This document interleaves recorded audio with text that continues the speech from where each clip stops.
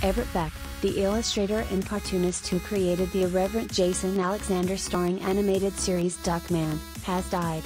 He was 71.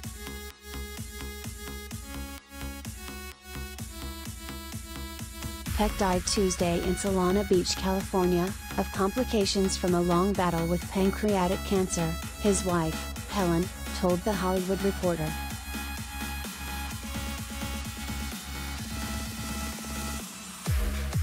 Peck created Duckman for a 1991 off-comic book published by Dark Horse Comics while pitching the idea for an adults-only animated series.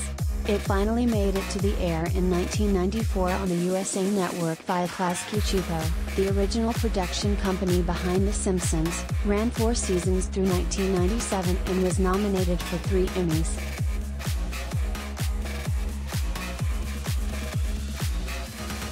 Duckman represents the plight of the little guy in an ever more complex and demanding world, Peck said in a 2009 interview. Like many of us, he struggles to break even but is ultimately squashed by powers far beyond his control.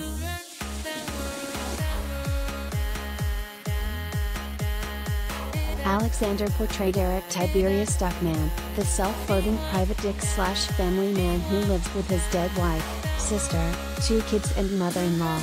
Seinfeld was just getting going when Alexander signed on.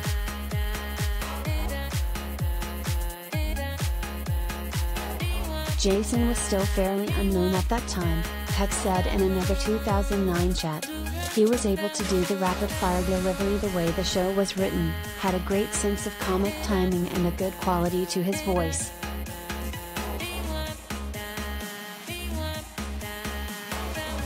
On Twitter, Alexander wrote that it was an honor to voice his beloved character and a joy to have known Everett. He was one of a glorious kind.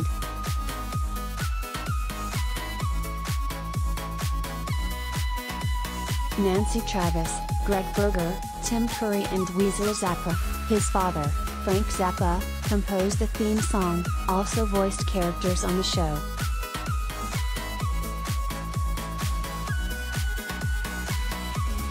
Peck also created the 2006-07 Cartoon Network series Squirrel Boy, that one featured an anthropomorphic character like Duckman and starred Richard Steven Horvitz and Pamela Adlon.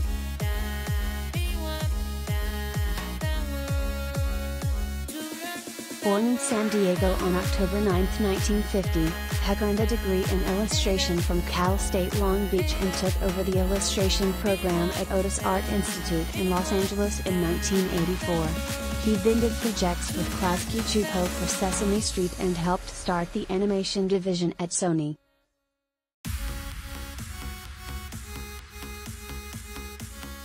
His resume also included work on Rugrats, The Real Ghostbusters, Extreme Ghostbusters, Dragon Tales, Jumanji, The Critic, and Semi.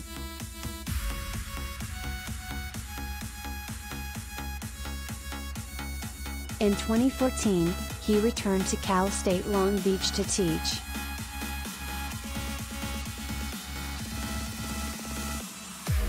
In addition to his wife, survivors include his children, Emily and Spencer, stepdaughter Paloma, and granddaughter Sidley.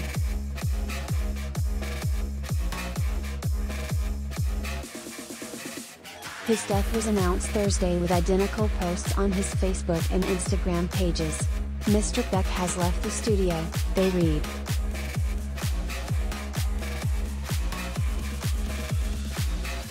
Eleven oh five p.m. updated with additional details about his death, additional survivors and his correct place of birth.